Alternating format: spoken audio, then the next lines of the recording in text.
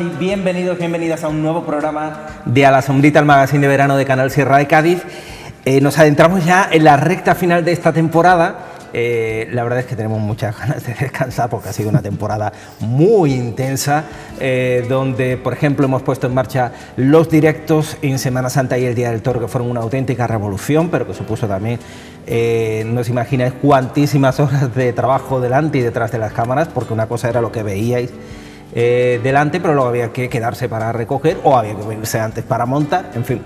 Fueron muchísimas horas directos que hemos vuelto a poner en marcha eh, con motivo de la Vela Flamenca de las Nieves en su 59 edición y con la procesión de la Virgen de las Nieves. Y también hemos estado en la primera Bienal de Cante de Jerez. Hemos sido la única televisión que hemos cubierto el evento con el patrocinio eh, de la Junta de Andalucía. también, por ejemplo, eh, pues hemos puesto en marcha el HD, en fin, que ha sido una temporada mm, brutal, brutal y necesitamos descansar, reponer fuerzas para volver en septiembre y empezar con las ferias y romerías, la romería de las montañas en Villamartín, las ferias de Bornos, a ver si ahora lo digo bien de memoria, Ubrique, Villamartín y por último Arcos de la Frontera, que todas irán en directo además, o sea que más no nos podéis pedir, porque la verdad es que somos una televisión pequeña y humilde y somos los que somos y lo estamos dando todo, pero bueno, eh, todo sea por la audiencia. Digo, em, nos adentramos, nos ponemos rumbo a la recta final, hoy eh, tenemos programa, mañana también y el viernes resumen y ya eh, con lo mejor de la semana ya nos vamos de vacaciones. Y antes de que eso suceda, hoy por ejemplo vamos a hablar de un concierto que va a tener lugar este viernes. Vamos a dar eh, todos los datos correspondientes al concierto, pero primero necesito presentaros a nuestro invitado. Se llama Ezequiel Ramos Venegas, es profesor de secundaria, licenciado en químicas, toma ya nada más y nada menos, con lo que odiaba yo la física de química, y diplomado en teología. Bueno, Ezequiel, buenas noches. Buenas noches. Claro, yo tiraba más para letras. claro, yo la química, la física, las matemáticas, pues como que no. Pero a ti se te daba bien, ¿no? Eh, me suponía un reto mayor que las letras, pero sinceramente también soy de letras.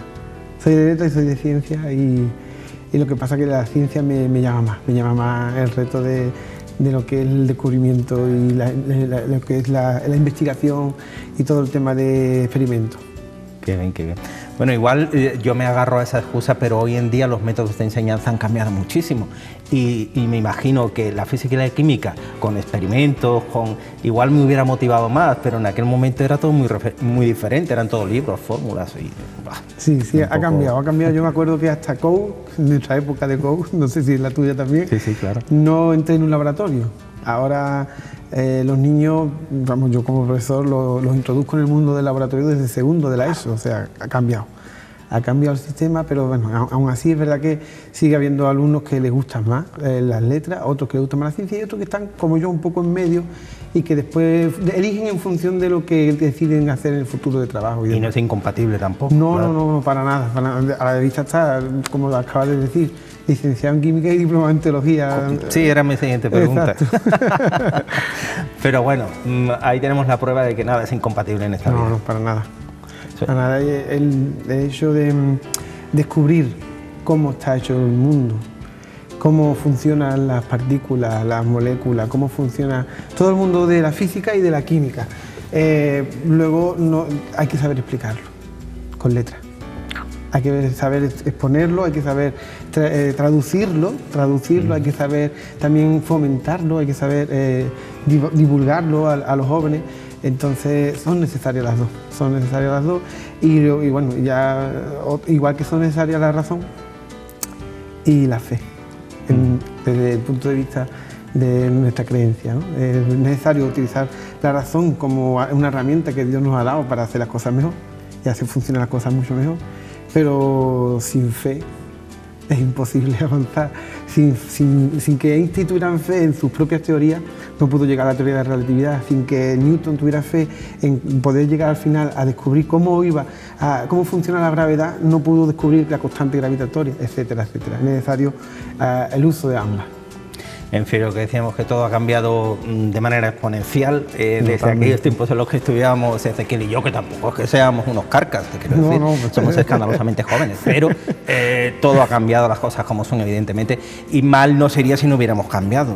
Mm, bien es verdad también que luego hay cosas que han cambiado para mal, otras que no han cambiado, pero bueno, así es el ser humano la vida y el mundo en general. Pero bueno, dejemos de filosofar, eh, aunque yo reconozco que si hubiéramos tenido profesores como Ezequiel, pues igual la cosa cambiaba. Es que también hay que saber comunicar y hay que saber transmitir y motivar al alumnado, en fin, influye muchísimas cosas para que algo eh, te termine de gustar. Pues sí, eh, al final en realidad el objeto de, sí, de estudio es lo que más llama la atención, por lo menos para mí, desde mi punto de vista.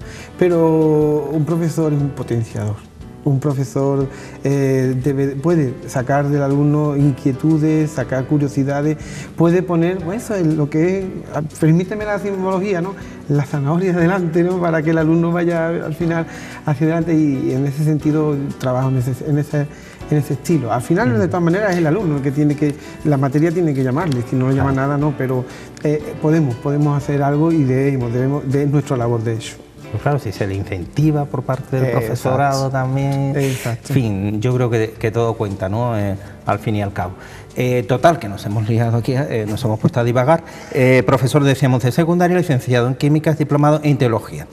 Eh, y en relación a esto último es pastor de la Iglesia Evangélica de Asamblea Cristiana de Arcos desde el año 2016. Hay que recordar que en Arcos, para que no nos veis desde otros pueblos de la comarca, en Arcos llevan 40 años en, concreto y creo que en la sierra, no sé si existe algún otro pueblo que cuente con... Sí, Iglesia Evangélica hay desde hace casi 40 años o, 40 años en Villamartín, en Ubrique, hay Iglesia Evangélica.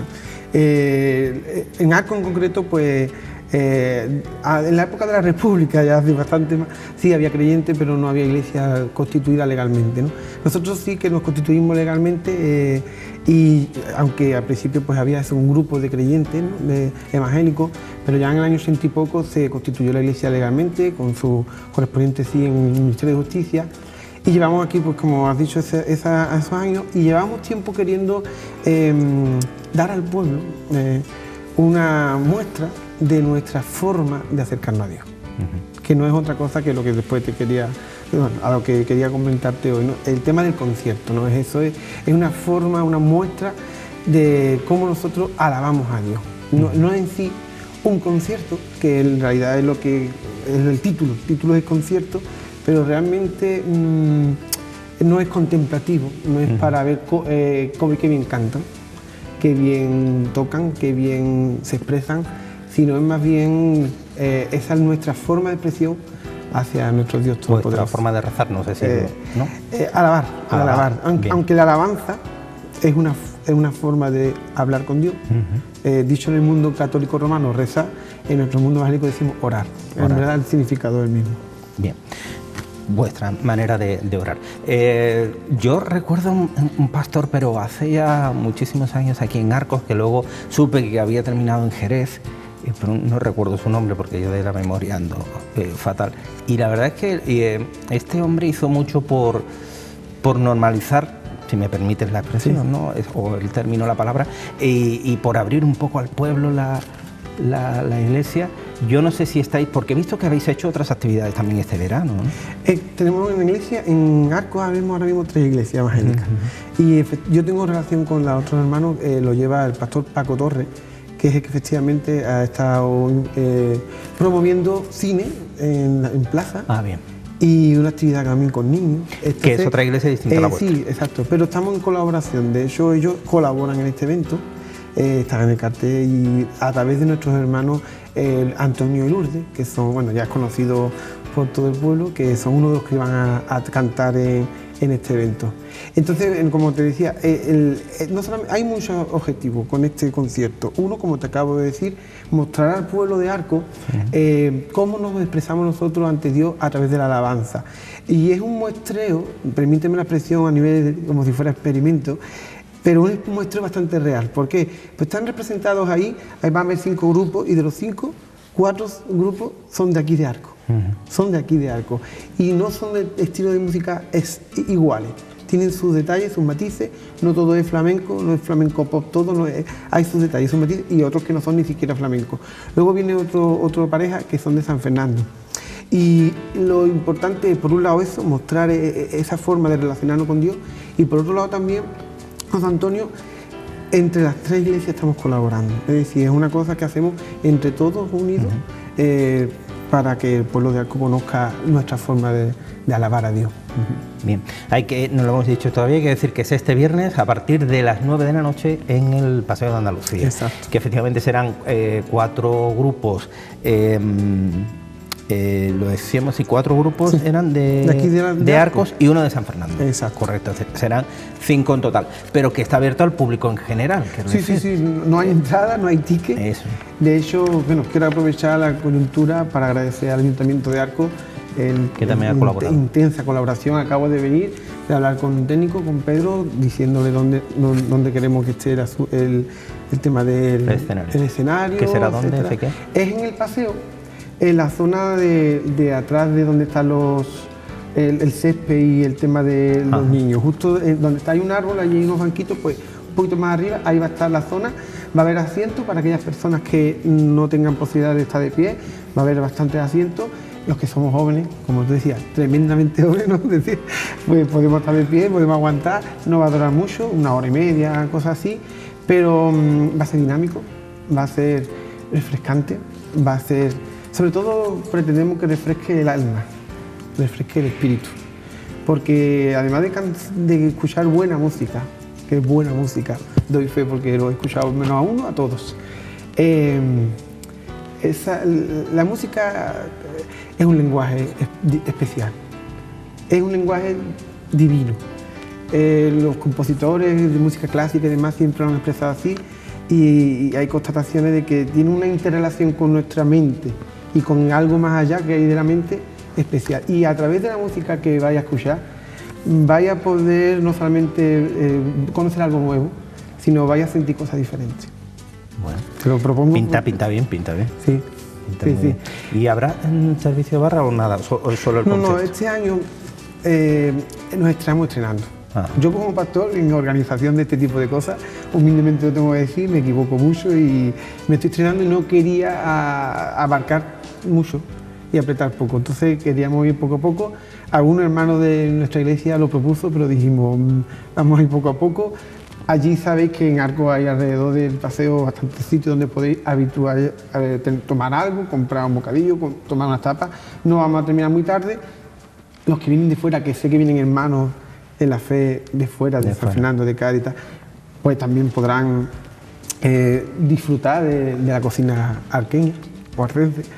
Y, y el objetivo principal para mí, para nosotros, era exponer esto, exponer la música, exponer eh, nuestra forma de alabar a Dios y, y ya otro año se andará el tema de la barra y demás.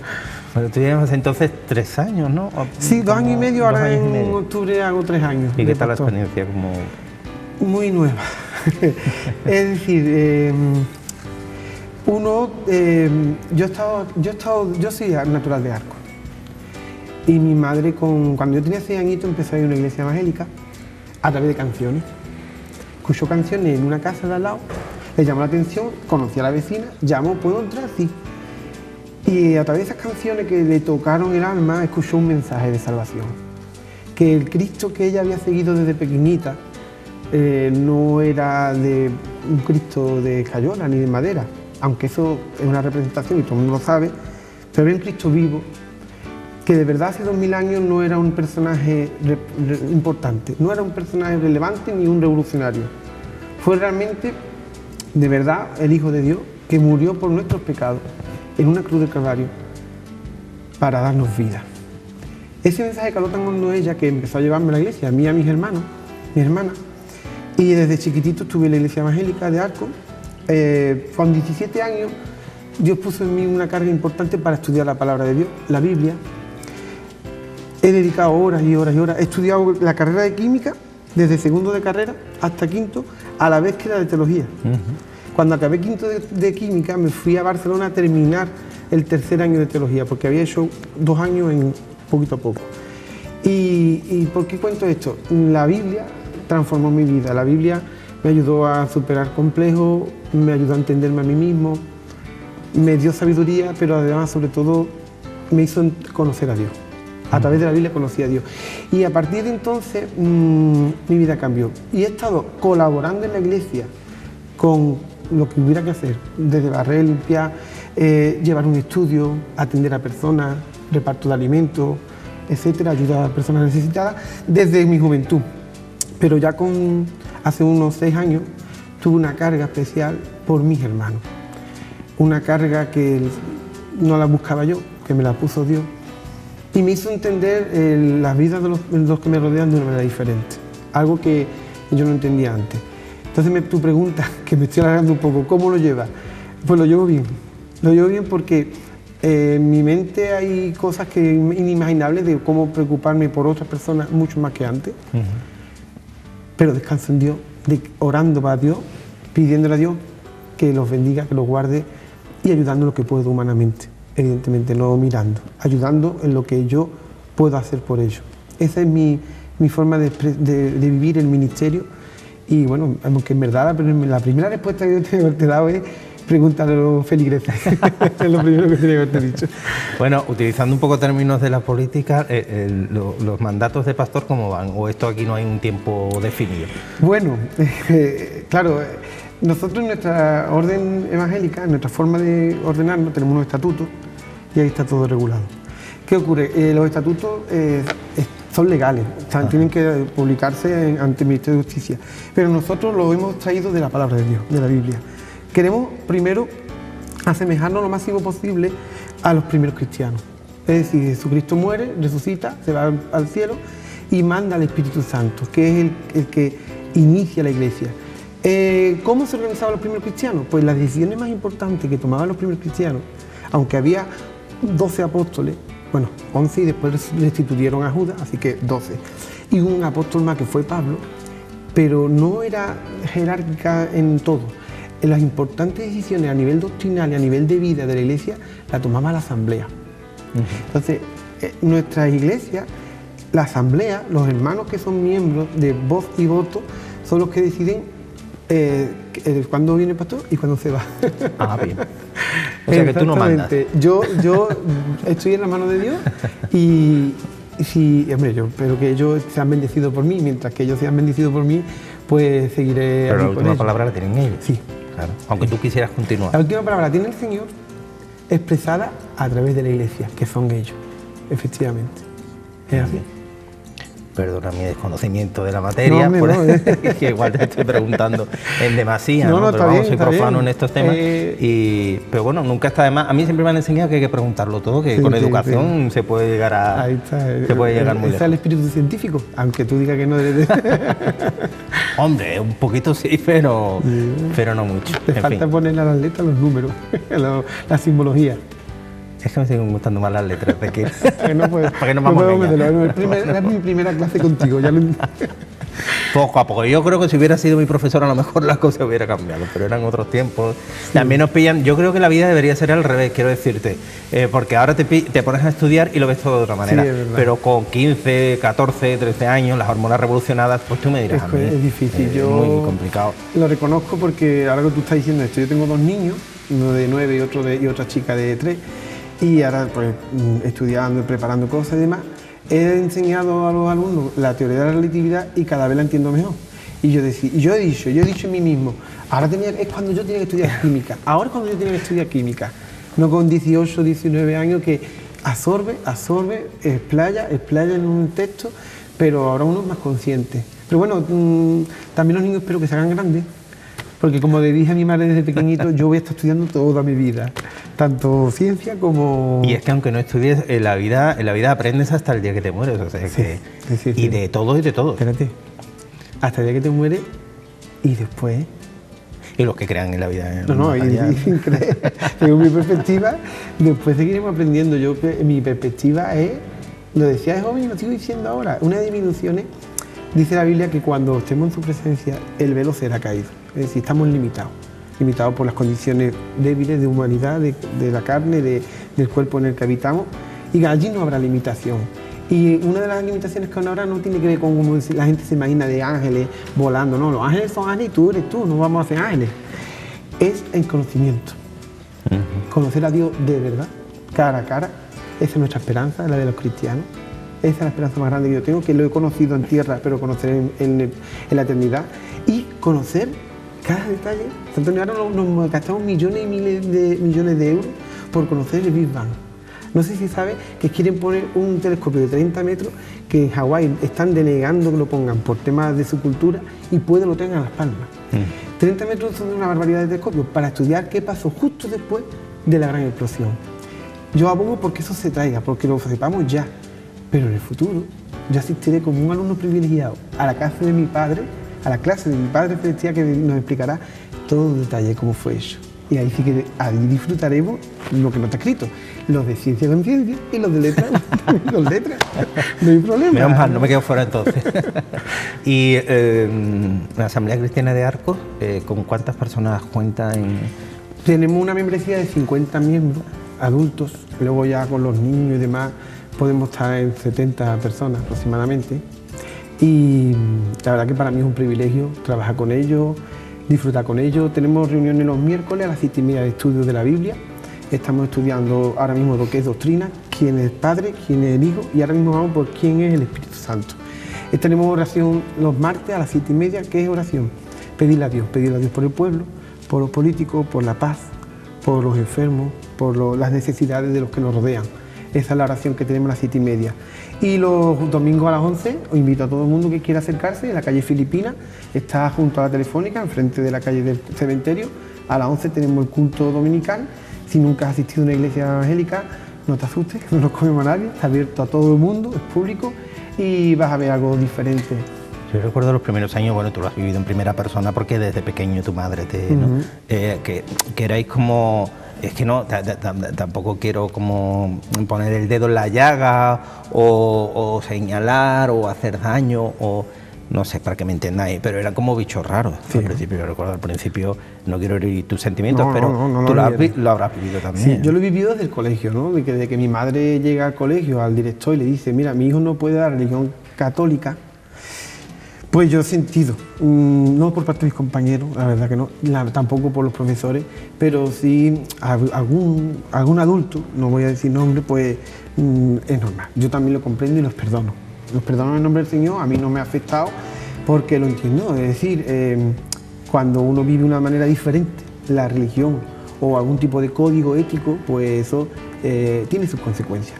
Pero para mí no las tuvo a nivel negativo, al contrario porque me dieron ética, no había religión evangélica. Hoy en día, en los colegios primaria y secundaria, si tú decides marcar la casilla de religión evangélica, si hay disponibilidad de profesores, los, tanto colegios como institutos lo dan, lo dan y hay profesores de enseñanza de otras religiones. Pero entonces me daban ética y para mí fue, de verdad, ¿eh?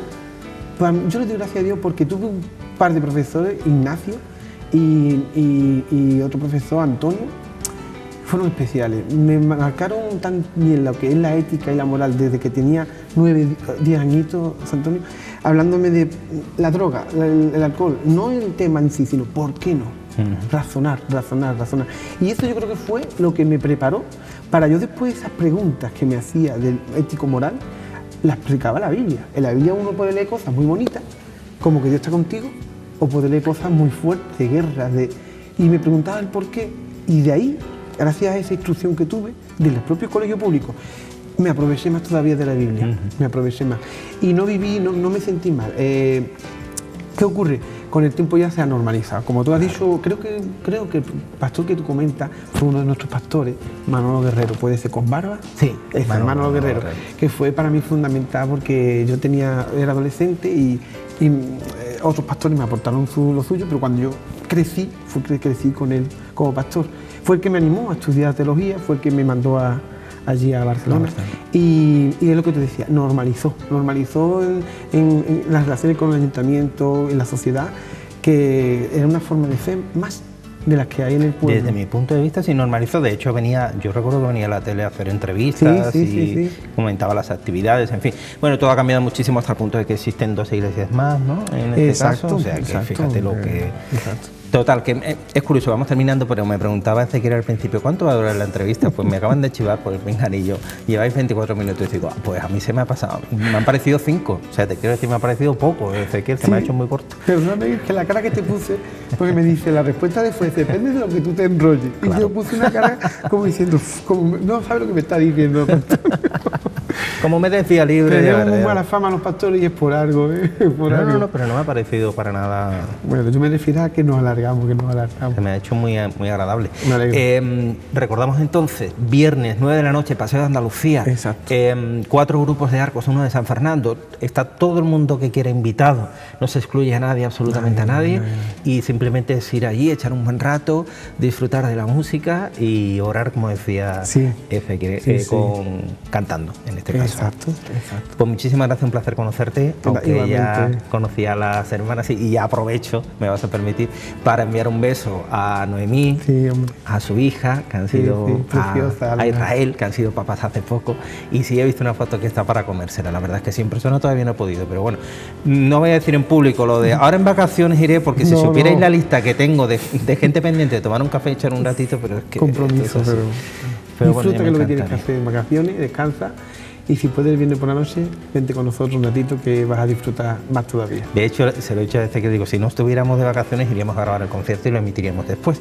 Pero bueno, ya el viernes eh, tomamos todo el equipo de vacaciones, todos a una, porque si no luego cuando volvamos en septiembre lo que no se puede ser que unos sí y otros no. Claro, ya volvemos no, todos descansados para, exacto. para las ferias que no te haces una idea. La que nos Sí me la hago porque Noemí ha estado también... Es verdad, es verdad. Me la hago por ella, sí que es verdad que es, can- es Es como de, de los turrones, una cosa mortífera, lo comprendo perfectamente, me pongo en su piel Madre. y es, y es tremendo. Pero luego, por otra parte, también te llena mucho el contacto directo con las personas que te ven cada día.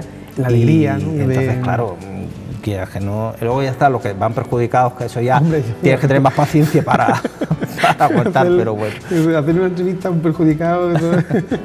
las he hecho. Madre mía, no veas. Las he hecho, mira, porque ya son tantos años en la tele. eh, me decía mi compañera Arancha, que presenta los informativos, que pobrecita, está maluquilla ahora, con un resfriado y un catarrazo en verano. Pero ¿a quién se le ocurre? Pero bueno, sabe Dios lo que habrá hecho. Los Yo ahí no me meto. No, pobrecita, que tiene fiebre y todo, pero bueno, vino a trabajar y me decía, José Antonio, es que estoy malísima, es la primera vez que me pongo delante de la cámara con fiebre. Digo, pues me he puesto con fiebre, sin fiebre, eh, dos horas después de, de haber sufrido algo a lo mejor muy fuerte, la pérdida de... Y en fin, y te tienes que poner y tienes que tirar para adelante y ya he presentado de todas las maneras habidas y por haber. O sea, que, O sea, que tienes experiencia. ¿Y es verdad lo que dicen? ¿Que los perjudicados dicen la verdad? Según cómo les cojan, ¿no? Bueno, esto ya te lo cuento fuera de cámara. Vale. Hay de todo, tengo muchas experiencias, te puedo contar seguro. más de una. En fin, pero yo siempre creo que he tenido ahí, no sé, el universo, el destino, Dios, llámalo lo que sea, que siempre he tenido la suerte que mm, mm, por H y por B, pero bueno, más o menos he salido del paso con en todas Sí, esas sí, en todo, situaciones. eh, tablas tiene, tiene. más bien lidiar con, Con eso. con el personal. No sé, un poco de mano izquierda, psicología, llámalo como quieras. Sí, sí. Pero bueno, intentas porque en esas situaciones tú no sabes cómo puede terminar todo. Pues Entonces, sí que es verdad. claro, en fin. Bueno, pues Ezequiel, muchísimas gracias, un placer, lo A he dicho. vosotros, de corazón. Y, y cuando tú quieras, pues esta es tu casa, que se lo digo a todo el mundo. Que nos damos llave, nos damos copia porque no tenemos, pero vamos, solo tienes que venir y decir No que estoy aquí. José Antonio, y Pues, te abrimos la puerta. Gra- Gracias de corazón y que nada, si queréis contar conmigo, pues lo mismo. Yo estaré encantado, incluso si conocer no solo a mí, sino a otra parte de, importante, a los otros hermanos que hay que están trabajando, que están con ilusión eh, aprendiendo, ensayando en la música, etcétera, pues que lo conozca el pueblo de Arco, que aquí en Arco hay mucho arte, hay mucho conocimiento y, y la cosa cada vez pinta mejor intelectualmente. ¿eh? A veces, yo me gustaría volver a unos años, hace un bastante años que había cierto ambientillo en algunos cafés y demás intelectuales. Tengo un tío que está en el Casino de la Unión, allí en el casco antiguo, intentando de promover eso otra vez. Y me gustaría, me gustaría que volviera otra vez esa culturilla eh, que engancha, que engancha de libros, de filosofía, de dialectos, a que se respire otra vez en Arco, porque Arco, en Arco hay mucho, ¿eh? hay mucho fondo. Sí, sí. Bueno, en la sierra en general, ¿eh? Hay- Sí, bueno, perdón. eh, a nivel Hablo de de- música, porque- literatura exacto. eso, hay, Bueno, la verdad es que ¿qué hay muchas inquietudes, las de cosas son. Ubrique, de Prado de Rey, de Villamartín. Allí tengo amigos, tengo hermanos en la fe y, y sí, la verdad es que la sierra es, es, es un paraíso del Señor que hizo Dios y que nos permite todavía vivir aquí. Disfrutarlo, claro. Sí, sí. Pues te diré que hasta la próxima, porque no sé por qué me da que nos vamos a ver más. Que yo encantado te quiero decir. Pues más todavía.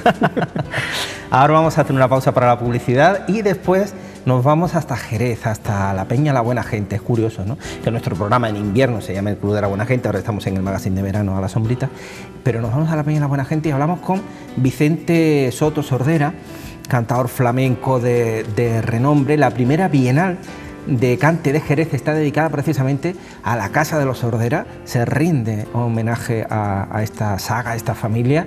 Nosotros estuvimos con Vicente, pero también estuvimos con Elu, con Macarena de Jerez. Esa eh, entrevista la tenemos próximamente, vamos ya mañana porque es el penúltimo programa.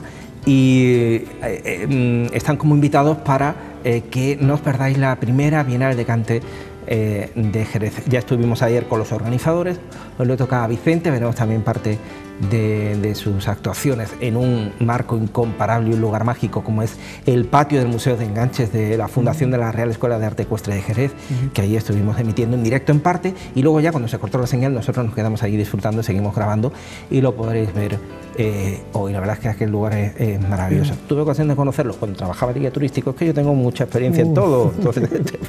y la verdad es que me, me enamoró aquel rincón y mira por dónde o sea que gracias a los compañeros que me están diciendo que estoy muy viejo ya. Pues mira, te voy a decir una cosa. Mm, para la edad que tengo, estoy bastante bien. O sea que vamos a hacer una pausa y enseguida volvemos.